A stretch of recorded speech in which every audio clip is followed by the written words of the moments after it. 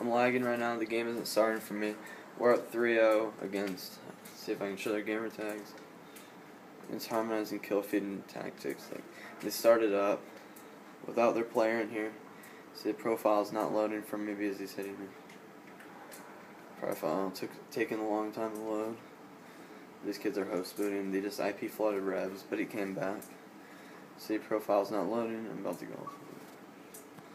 Oh, I just left their party. It looks like. So I got out of the party.